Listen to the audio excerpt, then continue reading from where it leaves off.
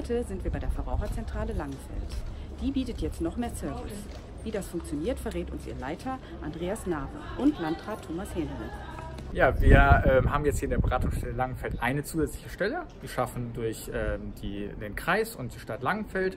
Und äh, das Besondere dabei ist, dass wir äh, verschiedene Vorteile jetzt halt verbinden können. Zum einen ist äh, die Beratung jetzt nach Termin möglich und auch in einem externen und gesicherten Beratungsraum. Und darüber hinaus haben wir auch noch eine Ausrichtung ähm, in den Südkreis Mettmann, wo wir dann eben auch ähm, mit der Außenwirkung uns besser aufstellen können. Wir haben heute in der Verbraucherzentrale nochmal die neuen Mitarbeiterinnen vorstellen können, die durch eine zusätzliche Finanzierung des Kreises hier zur Verfügung stehen.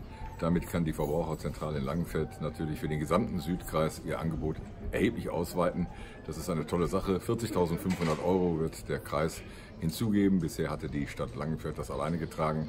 Jetzt haben wir ein besseres Angebot für die Verbraucherinnen und Verbraucher. Ich denke, das ist eine tolle Sache.